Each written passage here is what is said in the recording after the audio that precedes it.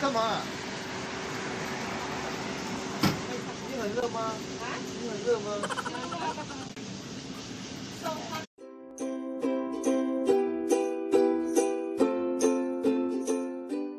Good morning! Nandito po kami sa hindi namin alam kung ano ito. Ayan, bagong ano namin. Nahanap ng chorba bells. Tingnan nga natin kung maganda ba yung background. Yan po, pwede pong umikot hanggang doon. Doon, pwede kayong mag-exercise doon. Maganda dito kasi ano, mga green, green grass of home. Diba? Ayan, mga munggo team! Ah, munggo angels! yung mukha mo. Ay, yung mukha. Hindi naman, kahit. Ano, ilan yun? Yung, swerte Hala, oh! Lanso, ay ano, ubas.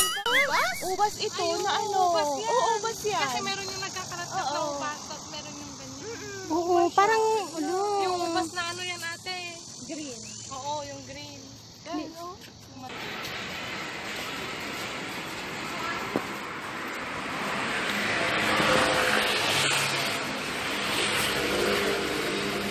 naghanap, naghahanap po kami ng ano.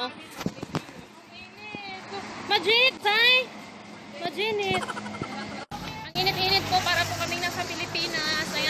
Ayan po, naka-short-short pa. Dito. Ayan po, ang satian.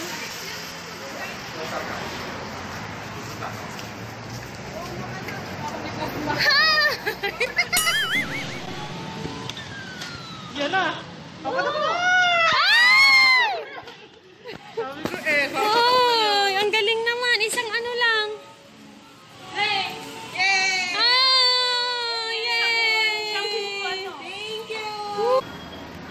Hawakan natin mabel. Huwag kang maingay. Pag maupuan mo ito, ano, Ano, Day? Woo! Bahala ka sa buhay mo. sa pagkain mo. Sagot. Bakit kasi ang magsaging nila, parang pinilit lang na luto. Oo.